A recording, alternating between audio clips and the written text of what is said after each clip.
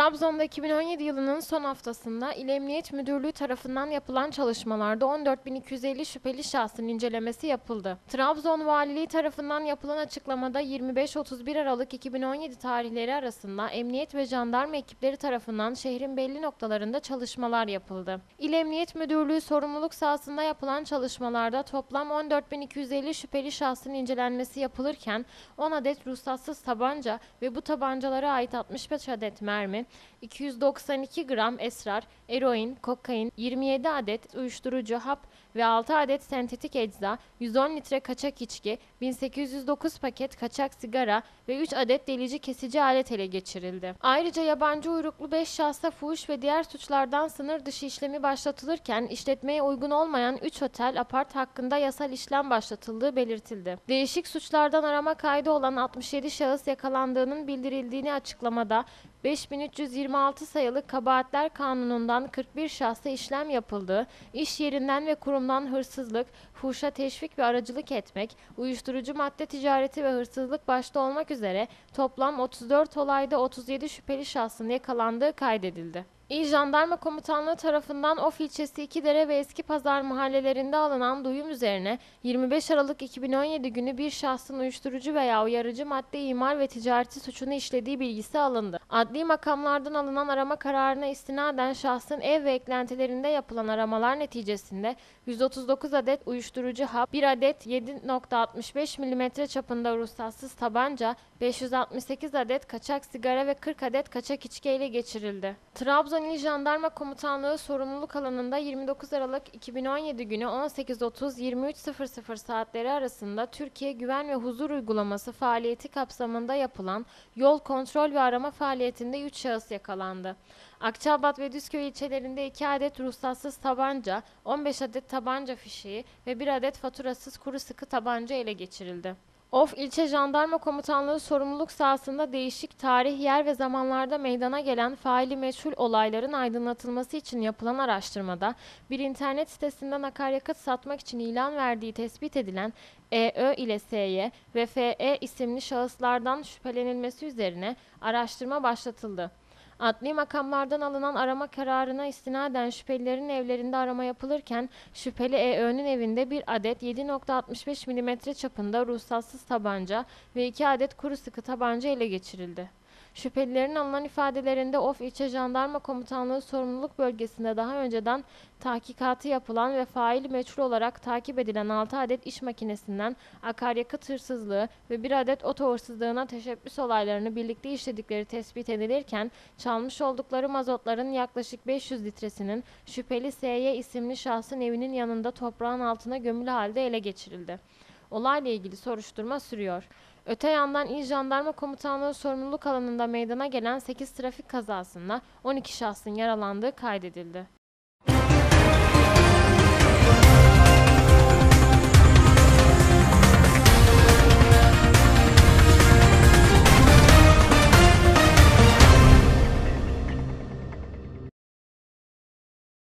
Trabzon Afet ve Acil Durum Müdürlüğü ekiplerinin 2017 yılında müdahale ettiği 73 olayda 22 kişi hayatını kaybetti, 45 kişi yaralı olarak kurtarıldı. Her düzeydeki acil olaylara anında müdahale eden Başbakanlık Afet ve Acil Durum Yönetimi Başkanlığı 2017 yılında Trabzon'da 73 olaya müdahale etti. Arama ve kurtarma faaliyeti olarak müdahale ettiği 73 olayda 45 kişiyi yaralı olarak tahliye eden ekipler 22 kişiyi ise olay yerinden ölü olarak çıkardı. Trabzon'da en çok %26 ile mahsur kalma olaylarına giden AFAD ekipleri bu olayda 2 kişiyi ölü, 4 kişiye ise yaralı olarak, trafik kazalarında da 26 kişiyi yaralı olarak, 11 kişiyi de ölü olarak tahliye etti. Ekipler müdahale edilen 73 olayda 3 boğulma, 16 kayıp, 19 mahsur kalma, 1 sel, heyelan, 12 trafik kazası, 6 yangın, 5 kimyasal, biyolojik, radyolojik ve nükleer ve 11 diğer olaydan oluşan çalışmalara katıldı.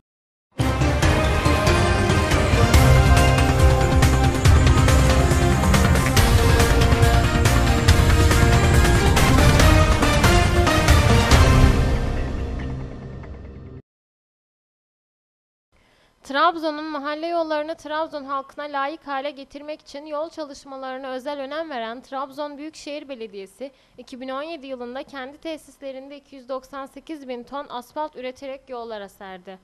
Büyükşehir Belediyesi 2010 yılında ayrıca kendi tesislerinde beton üreterek de yol betonlaması gerçekleştirdi.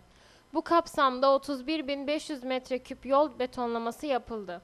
Büyükşehir Belediyesi'nin 2017 yılında kendi tesislerinde çeşitli ebatlarda üreterek mahalle yollarına serdiği büz miktarı ise 8712 adet olarak gerçekleşti. Trabzon Büyükşehir Belediye Başkanı Doktor Orhan Fevzi Gümrükçüoğlu yol çalışmaları ile ilgili olarak yaptığı değerlendirmede yol seferberliğini 2017 yılında da devam ettiklerini belirtirken önemli çalışmalara imza attıklarını kaydetti. Trabzon'un büyükşehir statüsüne kavuşmasının ardından mahalle yollarını belirli standartlara kavuşturmak için seferberlik başlattıklarını dile getiren Gümrükçüoğlu, ülkemizin en uzun yol ağına sahip olan iliyiz. Bu kapsamda mahalle yollarımızı insanlarımıza layık hale getirmek için 4 yılda çok ciddi yatırımlar yaptık. 2017 yılında da kendi tesislerimizde 298 bin ton asfalt üreterek yollarımıza serdik. Program dahilinde 2018 yılında da yol çalışmalarımızı ara vermeden devam edeceğiz diye konuştu. Geçici çözümler yerine kalıcı çalışmalar yaparak uzun yıllar hizmet edecek yolları mahallelere kazandırdıklarını belirten Gümrükçüoğlu, 2014 yılından günümüze mahalle yollarımıza çok önemli çalışmalar yaptık. Bu süre zarfında tamamladığımız çalışmalar olduğu gibi elbette henüz sahaya tatbik edemediğimiz çalışmalar da var. Hemşerilerimden özellikle bilmelerini istiyorum ki Trabzon'un hangi mahallesinin yolunun neresinde sorun varsa hepsinden haberdarız. Program dahilinde sırasıyla bu çalışmalarımızı gerçekleştiriyoruz ifadelerini kullandı.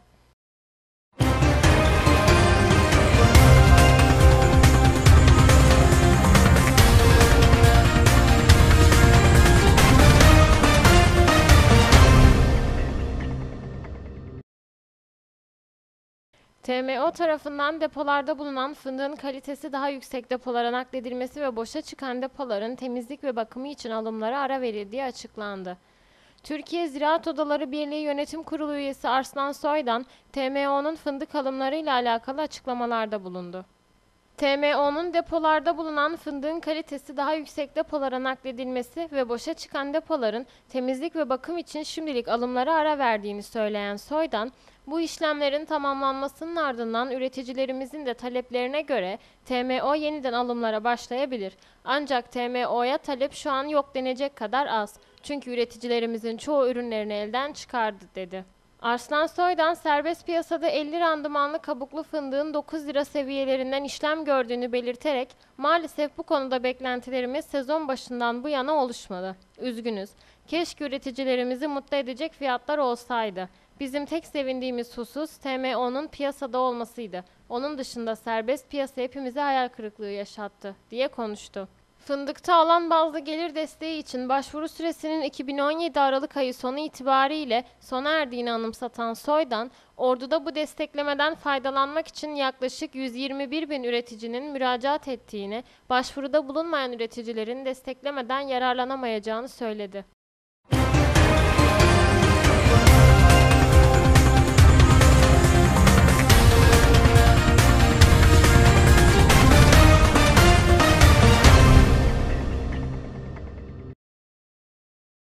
Milyonlarca vatandaşı ilgilendiren işçi işveren davalarında 2018 yılı itibariyle yeni bir dönem başladı. Yeni yılla birlikte tarafların yaşadıkları iş sorunları ile ilgili dava açmadan önce ara bulucuya gitmeleri zorunlu hale getirildi. İşçi işveren uyuşmazlıklarında ara buluculuğun dava şartı haline gelmesine yönelik düzenlemeyi de içeren İş Mahkemeleri Kanunu'nun yürürlüğe girmesiyle iş konusundaki uyuşmazlıklarda vatandaşlar ara bulucuya gitmeden mahkemeye başvuramayacak.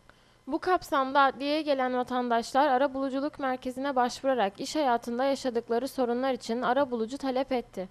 Uygulamayla işe iade davaları, bireysel iş uyuşmazlıkları, alacak ya da tazminat talepleri, fazla mesai ücreti gibi iş konularında arabulucuya başvurulacak. Tarafların uzlaştırılması adına uygulanan yöntemin faydalı olduğunu dile getiren avukat arabulucu Esma Nihan Bozdemir şöyle konuştu. İş hukukunda 1-1-2018 tarihinden itibaren zorunlu hale geldi. Daha önce de vardı ancak zorunlu değildi. E, bu yeni yıldan itibaren zorunlu hale geldi. İş hukukunun e, meslek hastalıkları ve iş kazaları haricindeki her konulara artık arabulucuya gelmek zorunda. Dava şartı oldu çünkü. Aksi halde dava usulden reddolunacak eğer arabulucuya başvuran dava açılırsa. Süreç bu şekilde işleyecek. Hızlı olacak, ekonomik olacak, taraflar için e, daha dostane bir çözüm olacak. Belki ileride yeniden iş kurmak isterlerse, çalışmak isterlerse arada husumet olmadan ayrılmış olacaklar. E, iş yükü çok azalacak tabii. Mahkemeler açısından da rahatlık olacak. Hızlı kararlar alınacak. Zaten aşağı yukarı alacak rakamlar taraflar biliyorlar kendi alacak kalemlerini. Bu konuda uzlaşma şeklinde bir anlaşma olacak. İki tarafta mutlu olacağını umut ediyoruz. Bu süreç yargıya mutluluk getirecek. Evet, e, bakanlık öncelikle ilk iki saati ücretsiz olarak kabul ediyor. E, taraflar anlaşamazlarsa hiçbir ücret alınmıyor. Anlaşırlarsa e, şeyden e, anlaşılan rakamın %6 oranında taraflar eşit bir şekilde paylaşmaya geçiyorlar. Eğer iki saatten fazla görüşmeler sürerse arabulucular yine resmi tariflerinden taraflardan ücret isteyebiliyor. Arabuluculuk bürosu daha önce hizmete başlamıştı. 2013 yılından beri arabuluculuk mevzuatımıza girdi ama iş hukukunda uyuşmazlıkla 1-1-2018'den itibaren zorunluluk başladı. E, iş ve işveren tarafın işçi ve işveren tarafından açılacak davalarda 1-1-2018'den itibaren öncelikle arabuluculuğa müracaat edilmesi gerekiyor. Eğer arabuluculuktan sonuç alınamazsa daha sonra dava yoluna gidilmesi gerekiyor. Tabii ki mevzuatımıza girme sebebi zaten bu. Alternatif bir çözüm yöntemi olarak mahkemelerin yükünü azaltmak adına hem toplumsal barışı getirmek hem mahkemelerin yükünü azaltmak adına alternatif bir çözüm yolu. Arabuluculuk merkezine başvuran vatandaşlar da şöyle konuştular. İki buçuk, üç yıldır eşimin tazminatını alamadık iş yerinden. E, bu işlere de bu işverenle işçi arasındaki e, ara buluculuk hizmetlerine de hizmetleri içinde böyle bir büro açıldığını duyduk haberlerde. Onun için geldik. Yani herhalde yardımcı olunmayacaksa böyle bir büro açılmazdı. E, umarım yardımcı ol- Ee, Televizyondan duydum. O şekilde geldim. Şayet bence olur yani. Ara buluculuk hizmetleri bence olması gereken bir hizmet. Yani mutluyum yani. En azından bir umudum var yani tekrar işime dönebilmem adına. Bence herkesin uğraması gereken yer yani.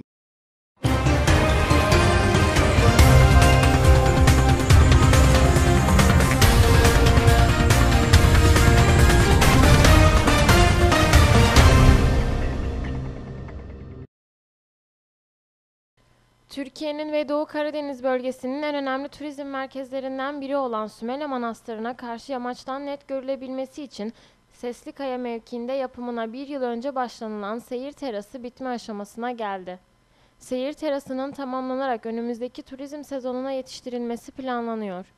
Trabzon'un Maçka ilçesindeki Altındere Vadisi'nde bulunan ve 22 Ağustos 2015 tarihinde başlanılan restorasyon çalışmaları nedeniyle ziyaretçilerine kapatılan Sümele Manastırı'nda restorasyon çalışmaları devam ederken bölgeye gelen ziyaretçilerin manastırı karşıdan net görebilmeleri için yapımına bir yıl önce başlanan ve bölgeye hakim yamaca yapılan seyir terası önümüzdeki turizm sezonuna hazır hale getirilmeye çalışılıyor. Konuyla ilgili bilgiler veren Doğa Koruma ve Milli Parklar Trabzon Şube Müdürü Akif Ümüzer, bölgede iki ayrı noktada daha seyir terası yapmayı planladıklarını söyledi. Şehir terası e, yapmaktaki ana amacımız e, özellikle e, bayram günlerinde ve yazın yoğun ziyaretçi akışına Milli Parkımız uğramakta. E, bu nedenle ziyaretçileri alanda dağıtabilmek, doğaya da hakim olabilmelerini sağlamak ve e, aynı zamanda e, manastırı karşı noktadan gören e, Seslikaya mevkisinde yer almakta. E, ziyaretçilerimiz e, bu sayede karşı noktadan manastırı rahatlıkla e, izleyebilecek ve görüntüleyebilecekler. Kaç metre yürüme yolu? E, projemizin toplamı 11.1 kilometre. 2016 yılında projemizi hazırladık. E, bu yıl e, iki noktada seyir terası ve e, iki seyir terasının arasındaki 550 metre yolun kaplamasını gerçekleştirdik. Manastırı e, tam hakim gören noktaları bu yıl bitirdik. İnşallah sezona e, tamamen hazır olacak. E, maliyeti 838 bin lira. İki seyir terasımızın. E, ödenekler e, aktarıldığında iki ayrı noktada da seyir terası yapmayı planlıyoruz. Altındere Vadisi Milli Parkımızda iki ayrı noktada da seyir terası yapmayı planlıyoruz. Kültür ve Turizm İl Müdürü Ali Ayvazoğlu da Altındere Vadisi'ndeki seyir teraslarından iki tanesinin bitmek üzere olduğunu dile getirerek şöyle konuştu. Yaklaşık e, bir yıl önce e, Sümele ile ilgili yapılan restorasyon çerçevesinde karşı tarafında Sümele Manastırı'nın görülmesi için e, milli parklarımızla birlikte bir çalışma başlatmıştık. Bu çalışma çerçevesinde e, Ağustos ayından itibaren milli parklarımız terasların yapımına başlandı. E, ve şu an devam ediyor. Bitmek üzere iki tanesi. İnşallah geriye kalan iki e, terasımız daha da bunlar tamamlandıktan sonra yapımına başlanıp bitirilecek. E, bu terasların e, Trabzon turizmine katkısı özellikle Maçka'da Sümele ile alakalı olarak baktığımızda e, gelen turistlerin gezeceği başka bir alan daha oluşturmuş olacağız. E, özellikle Milli Park'ın girişinden sonra oluşturulacak olan bir ring e, seferiyle birlikte teraslardan e, Sümele Manastırı tam karşıdan görülme imkanına sahip olacak. Gelen ziyaretçilerimiz sadece e, araçla çıkılıp Sümele Manastırı'nın gezildiği bir nokta değil, çevresiyle beraber gezilen bir nokta haline getirdiğimizden Sümele'de kalış e, zamanı daha da e, artacak ve gezi alanları çoğalmış olacak. Hem trekking yapabilecekler, e, milli park olması hasebiyle oradaki yabani hayatı görme imkanına sahip olacaklar. Aynı zamanda o bölgenin kendisine has e, doğal yaşamını da birlikte e, görerek hem foto safari yapabilecekler, hem trekking yapabilecekler, e, hem de Sümele Manastırı'nı karşıdan görme fırsatını yakalayacaklar. Farklı bir ambiyans, farklı bir e, bakış açısıyla Sümele'yi, o bölgeyi ziyaret etmiş olacaklardır. Bu e, e, terasların e, özellikle başladığı andan Sümele'nin bulunmuş olduğu noktaya kadar toplam e, yaklaşık 11-12 kilometrelik bir mesafe aynı zamanda bir yürüyüş güzergahı olarak da kullanılmış olacak. Ve gelen turistler tabii ki e, farklı bir alanı görme e, açısından e, bu bölgeyi tercih edeceklerini ve bu bölgenin turizmine büyük bir katkı sağlayacağını düşünüyorum.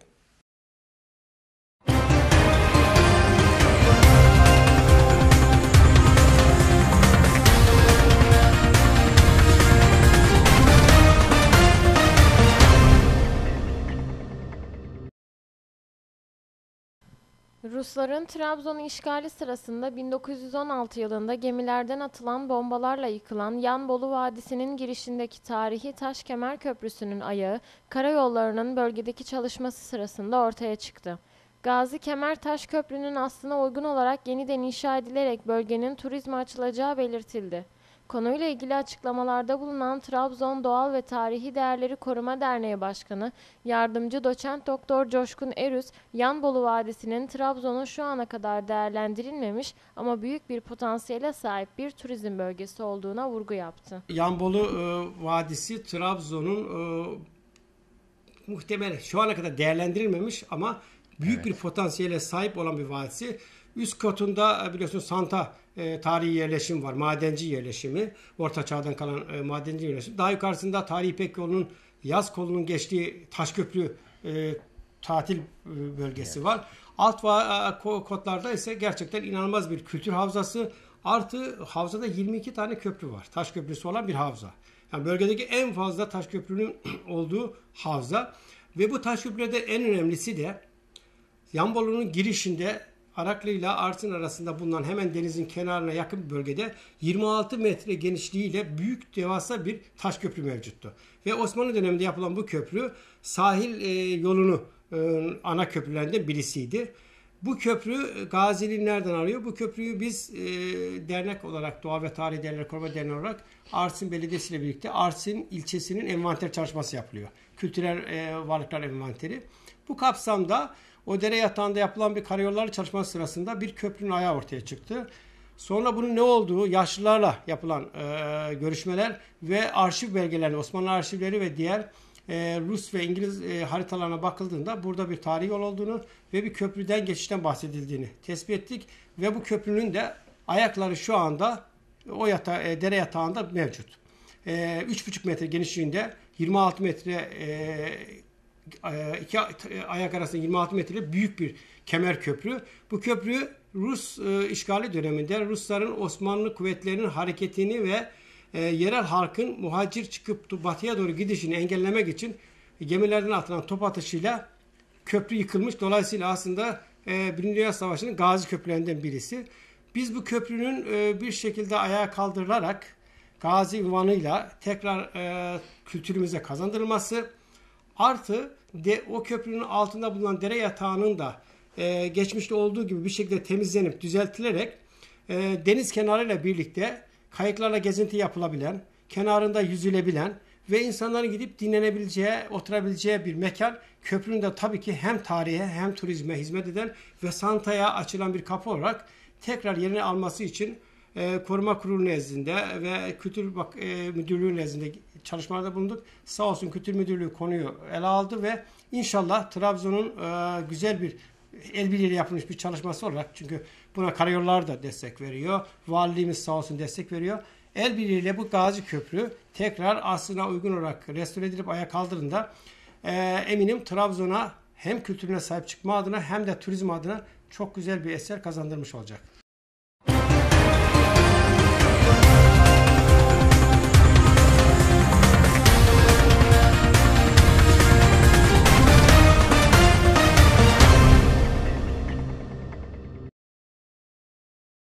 Rize'de son 20 yıldır yıkımı ve taşınması gündemden hiç düşmeyen 77 yıllık Merkez Orta Camii adeta parça parça sökülüyor. Rize'de bulvar projesi kapsamında 90'lı yıllardan bu yana yıkımı gündemde olan ANAP'lı Rize Belediye Başkanı Hızır Hop döneminde bir benzeri 50 metre gerisinde inşa edilen ancak 5 santim büyük olduğu gerekçesiyle Vakıflar Genel Müdürlüğü ve Kültür ve Tabiat Varlıklarını Koruma Kurulu tarafından kabul görmeyen camiyi Rize'de iki dönem belediye başkanlığı yapan AK Partili Rize Belediye Başkanı Halil Bakırcı, cami yıkan başkan olarak anılmak istemiyorum diyerek yıkmamıştı. Tarihi Orta Cami'nin yıkılıp yerine yenisinin yapılması için gerekli izinlerin alınmasından sonra taşınma ihalesi geçtiğimiz yıl Rize Belediye Başkanı Profesör Doktor Reşat Kasap tarafından gerçekleştirilerek yüklenici firma ile imzalar atıldı. Cami geçtiğimiz Temmuz ayından bu yana ibadete kapatılırken içerisindeki ahşap ve tarihi özellikler taşıyan parçaları tek tek sökülerek taşınma işlemlerine başlandı. 77 yıllık caminin Mart ayına kadar tamamen yıkımının gerçekleşeceği kaydedildi. Caminin cemaatinden Rizeli 96 yaşındaki Ömer Levent, caminin kendilerinde anısının çok olduğunu belirterek şöyle konuştu. Ya o cami ben 75 seneden beri mesela hatırlarım onu. Yani ondan sonra şey etti, buraya yaptığın zaman daha buranın içerisi kare pazarıydı. Evet. Şimdi şey etti, tren mesela şey değil, bilmem ne değil. Tren girerdi araya, şimdi boza bozaydı. He. Evet. Ne vardı peki önceden caminin olduğu yerde? Ha? Caminin olduğu yerde ne vardı önceden? 70 sene önce. Hemen onun mezarlıkta vardı kaç tarafa. Mezarlıkta vardı. Öte yandan Timya Vadisi'nde birebir aynısı yapılacak olan yeni Orta Camii'nin ise 11 ay içerisinde tamamlanarak hizmete açılması planlanıyor.